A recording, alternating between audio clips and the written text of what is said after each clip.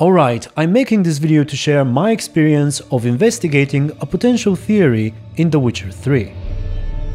I often have viewers offering wild speculations about all kinds of things in the game, you know, things like maybe Vesemir actually poisoned the grain in White Orchard. What the? Or perhaps Geralt slept with Ciri at Kaer Morhen. Or that Triss is not really Triss, but she's actually Coral?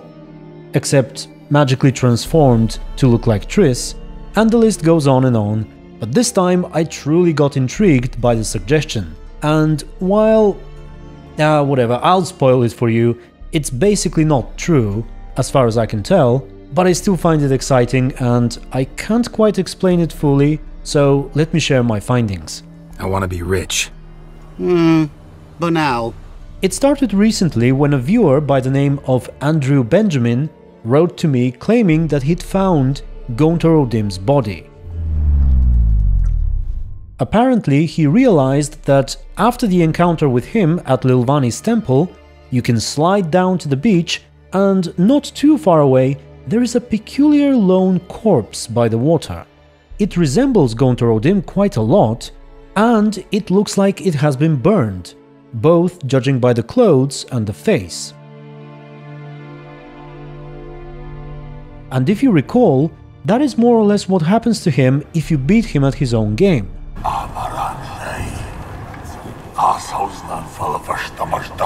Be gone. Finally, you can actually loot the corpse, and what you get from it is a single apple. Now, as you probably remember, Gaunter O'Dimm can be seen carrying around and eating an apple during the wedding party with Shani and Vladimir.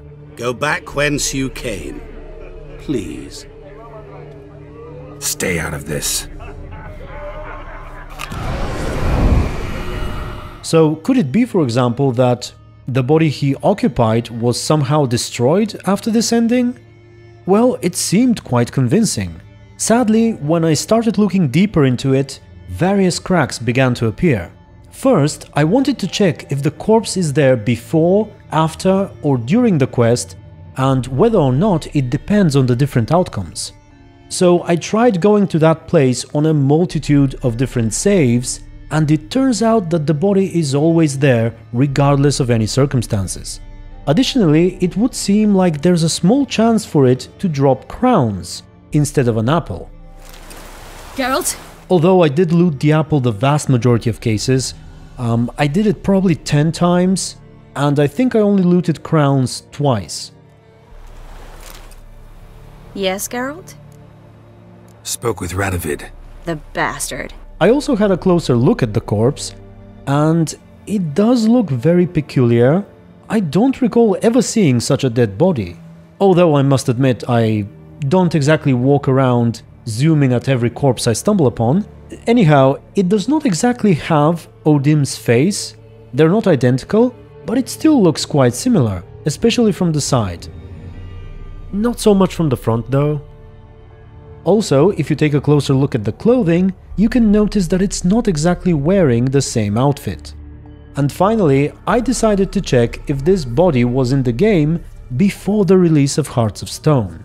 However, reinstalling the game without the expansion may not have been enough, since some of the expansion assets are actually part of the base game nowadays. Like for example, if you don't have Blood and Wine installed, you can still see Palmerin's coat of arms in the Stonecutters settlement, where you're supposed to begin the Blood and Wine quest. So, as I said, I went a step further and I actually downloaded a pirated version of The Witcher 3, specifically one that only has the launch day patch.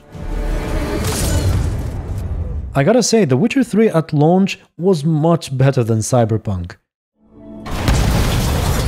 But anyway, um, I did play through White Orchard and Vizima, and upon my arrival in Velen, I immediately rushed to the same spot, and the body is still there.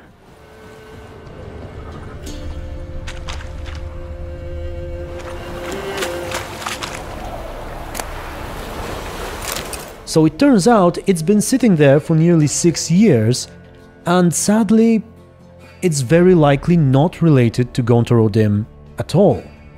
I mean, They technically showed Oriana before the launch of the main game, but I certainly doubt that's something they've been planning all along. Regardless, I'm still not entirely sure what this burned corpse is doing here at the edge of the water. I mean, there are some more dead people on the island over on the other side, you know, next to the giant skeleton, which is probably a subject for another video. Anyway, if you've got any ideas, feel free to let me know, and if not, well, I thank you very much for watching anyway. Finally, special thanks to Andrew once again, as well as my supporters, and until the next video, stay tuned and be good.